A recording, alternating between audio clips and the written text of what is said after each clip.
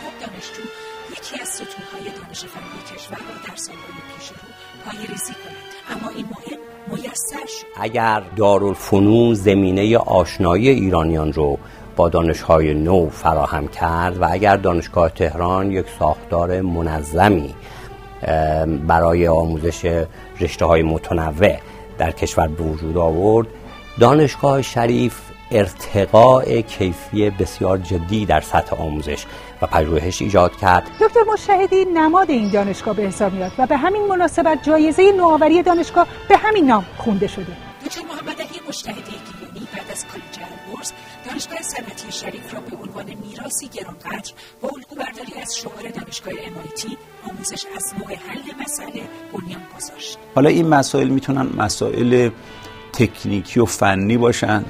از قبیل مسائل به صلاح هسته‌ای کمک به صنایع دفاعی می‌تونن مسائل زیست محیطی باشن مثل مقولاتی که در دریاچه ارومیه پیش آمده مجموعه دانشجوها و استادای مخزن فکری درست کرده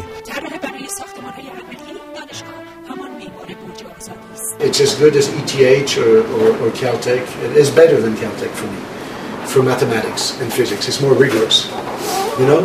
So I would put Sharif in the top 10. The chairman of that department has said that without a doubt, the finest university in the world, in the world, preparing electrical engineers, undergraduate, is Sharif University in Tehran.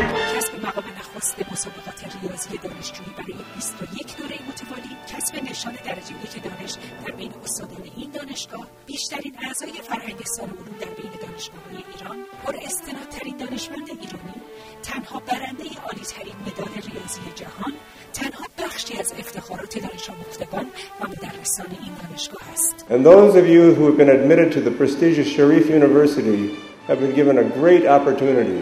آرزوی هر جوان تحصیل کرده باشه که از دانشگاه شریف یه روز فارغ التحصیل بشه و من خدا رو شکر می‌کنم که این اتفاق واسه من سال 67 افتاد و بهترین دانشگاه فنی ایران قبول شدم. بیش از 50 هزار دانش آموخته است که با رتبه های یک تا صد آزمون سراسری این دانشگاه را برای تحصیل انتخاب کردند. امید که بیش از پیش این دانشگاه بتواند در حل کنکاش و مدیریت کشور مشارکت داشته باشد.